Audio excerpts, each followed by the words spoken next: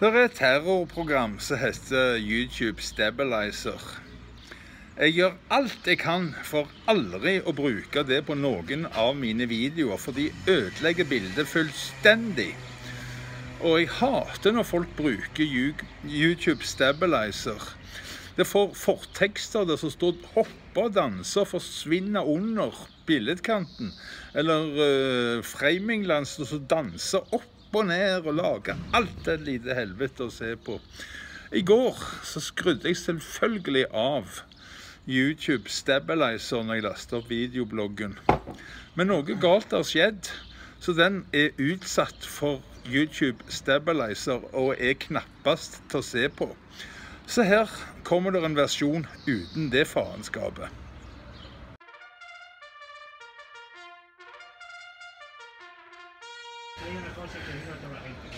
Ja, hola amigos. Her kommer det et lite reisebrev fra Guadalupe. Rare greien er det ikke, for det, har skjedd så mye. Så det har ikke blitt at vi har filma noe. Det starta jo hele da med at eh, rett før Obando, noen kilometer før Obando, der bare stoppet bilen midt på veien når vi kom ikke oss av flekken. Så jeg måtte tilkalle Falken.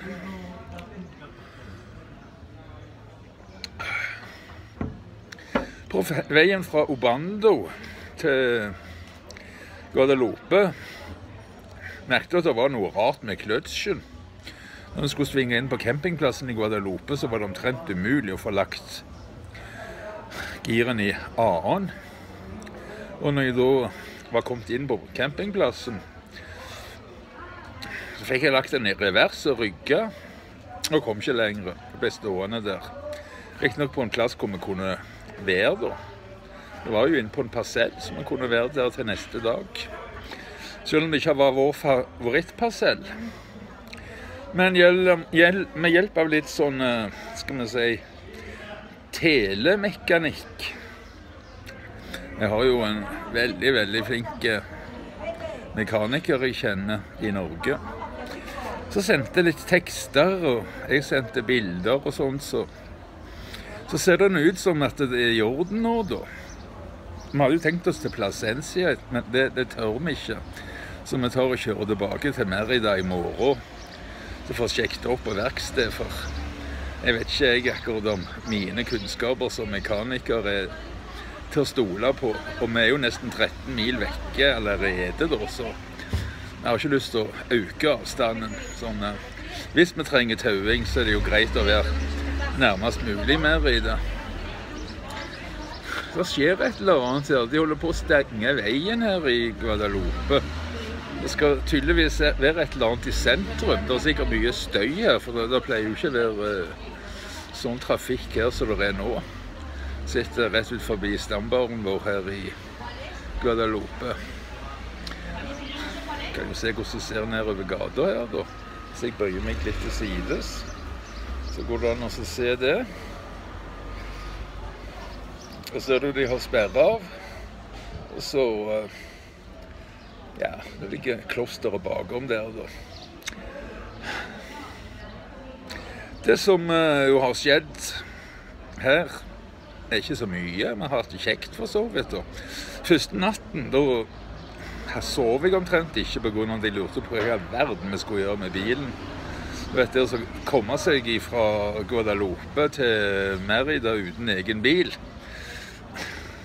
Det er ikke lett. Jeg har googla det. en, du kan ta en taxi til Cáceres nå på tilbud til 110 euro.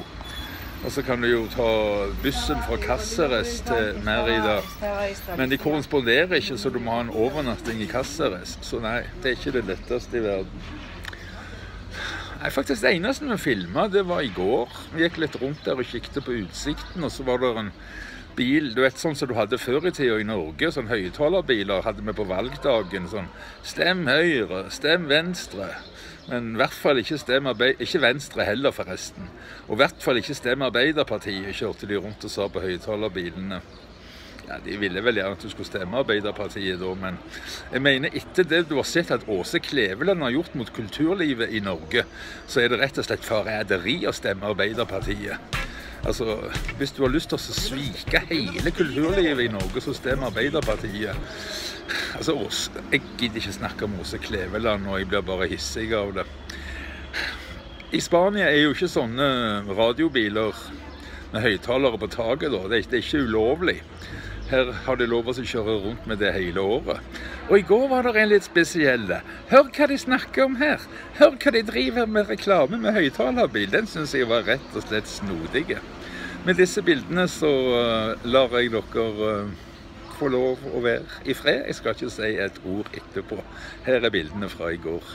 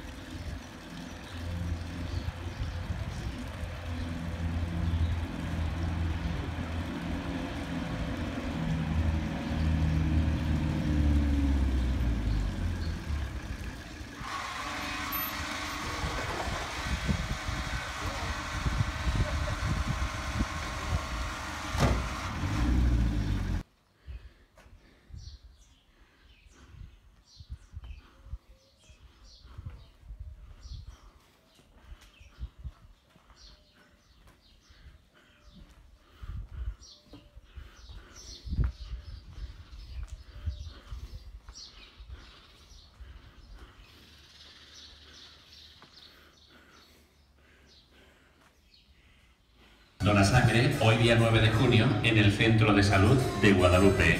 Desde las 6 de la tarde hasta las 10 de la noche. Acude a donar. Te necesitamos.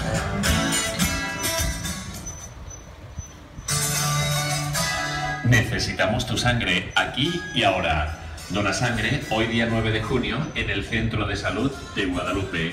Desde las 6 de la tarde hasta las 10 de la noche. Acude a donar. Te necesitamos.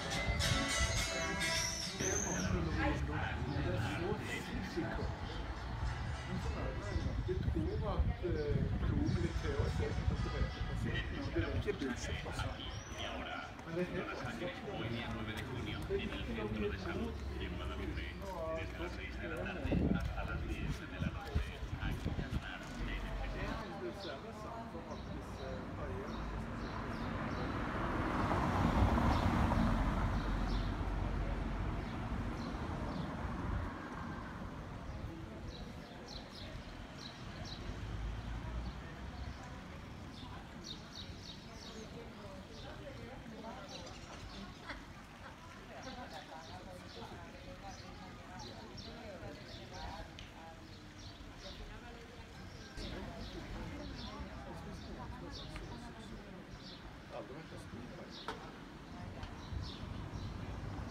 Y ahora, dona sangre hoy día 9 de junio en el Centro de Salud de Guadalupe. Desde las 6 de la tarde hasta las 10 de la noche. Acude a donar. Te necesitamos.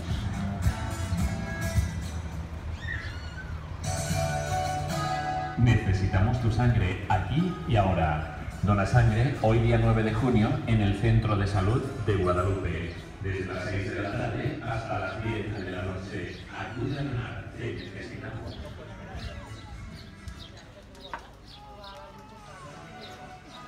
Necesitamos sangre. Dona sangre hoy día 9 de junio en el Centro de Salud de Guadalupe. Desde las 6 de la tarde hasta las 10 de la noche. Acude a donar. Te necesitamos.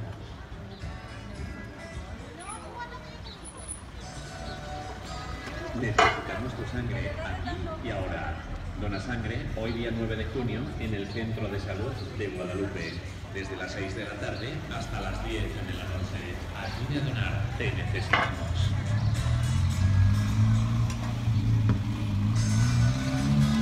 Necesitamos tu sangre aquí y ahora. Dona sangre hoy día 9 de junio en el Centro de Salud de Guadalupe. Desde las 6 de la tarde hasta las 10 de la noche. Acude a donar. Te necesitamos.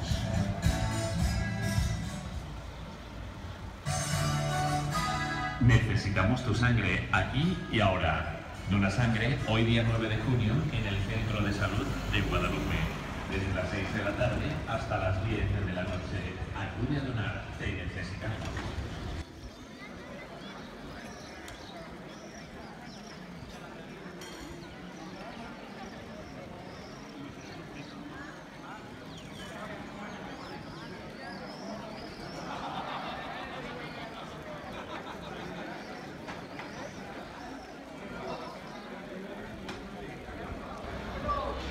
Litt spesielt, hva?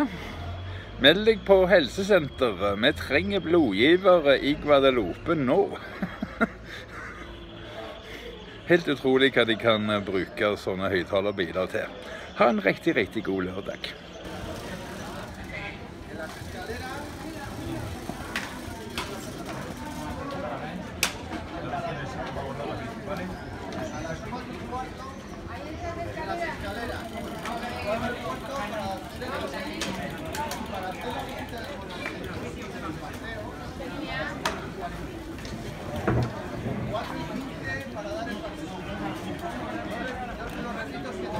Men aktivitet å var her i dag.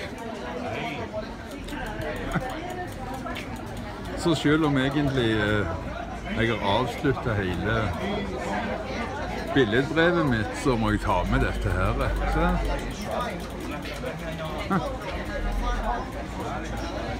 Vanligvis er det ofte en god del sånne pilegrimsturister her som skal opp og kysse jomfruen oppe i eh, klosteret der, men eh, jeg tror ikke noen av disse har tenkt å kysse jomfruen. Vi får se hva det fører til. Så her de får til og med ta syklene inn her, det er jo ikke dårlig.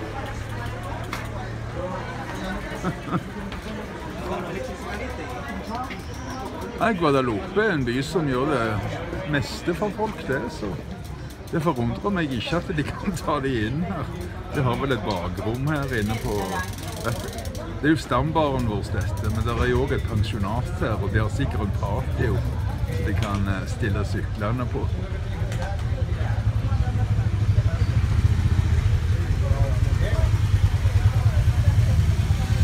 Veldig mye motorsykler òg å se i dag. En hel haug. Sikkert 50 stykker. Jeg lurer på hva som skjer i dag. Hvis det skjer noe særlig i dag, så får dere se det i morgen. For det er, nå må jeg bare begynne å laste opp denne videoen her. Jeg skal jo bruke nettverket til baren jeg sitter på her nå. Så uh, ha en fortsatt riktig, riktig god lørdag.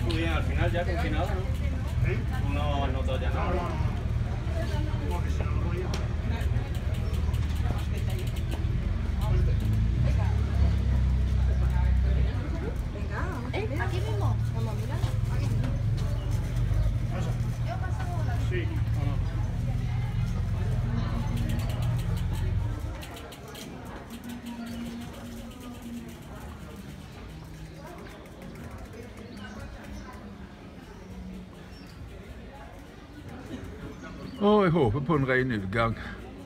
Der fikk jeg en ren utgang. Et korrekt klipp, med andre ord. God lørdag.